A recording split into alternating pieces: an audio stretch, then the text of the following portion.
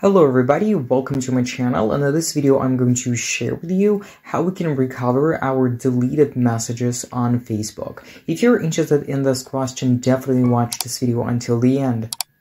And so let's go into Facebook and I'm going to show you right away how we can find and actually recover our deleted messages. So for this, we just need to go into our uh, settings then we just swipe a little bit down and uh, go into settings again. Next, we need to find this section, which is called see more in accounts center. So we're going to go right here. And basically we need to find then your information and permissions. Let's go here.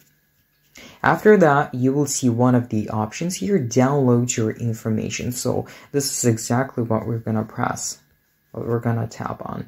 Next is going to be we need to press on a request, a download, or if you had, for example, you can just go and view your past file requests. And so as you can see, you can request a copy of your information anytime. When your file is ready, you'll have four days to download your information from this page. So let's go request a download. Then you need to choose, uh, for example, one account or maybe um, several if you have them.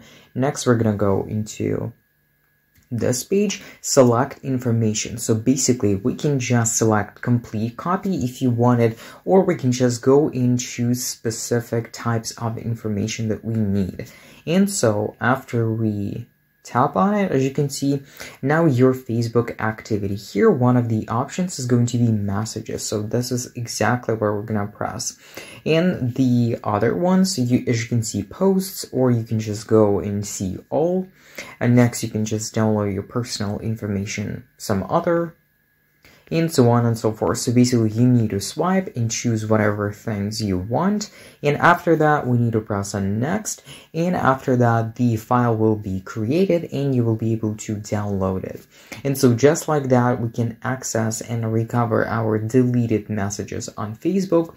I hope that you've enjoyed watching this video and you found it helpful. If you have, please don't forget to like, subscribe, and hit the bell button to get notifications about my new videos.